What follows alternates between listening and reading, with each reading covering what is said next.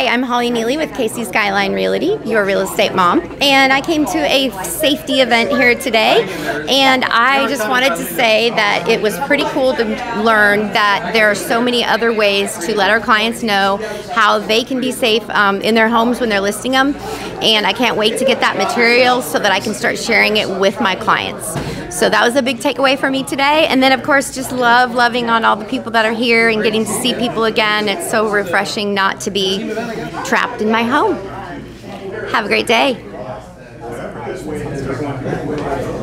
And of course, the lady behind the camera here, Tracey, has supplying all sorts of cool stuff, which I can't wait to get from her on helping my clients as well.